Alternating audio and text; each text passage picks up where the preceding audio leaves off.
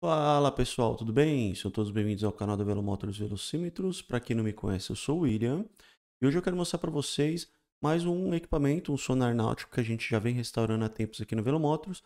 Dessa vez é um modelo Furuno GP 1850, GP 1650, em que a gente está restaurando essa tela queimada, tá vendo? Muitas das vezes o cliente opta em descartar, jogar fora e atualizar o sonar da sua embarcação, mas isso acaba encarecendo bastante aí nos modelos 2021. Então você que quer dar uma economizada, quer recuperar aí a sua peça, só encaminhar para o Velomotos que a gente consegue restaurar, tá bom?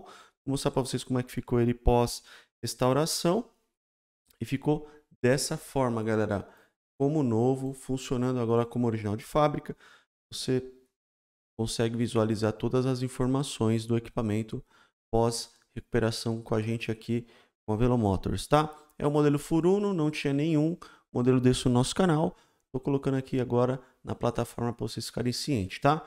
Modelo GP1650, modelo GP1850, só encaminhar para a Velomotos que a gente consegue restaurar o equipamento para vocês, tá bom?